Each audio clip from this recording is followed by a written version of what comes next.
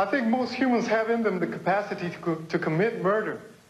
Uh, it is No, not because no, we don't, Richard.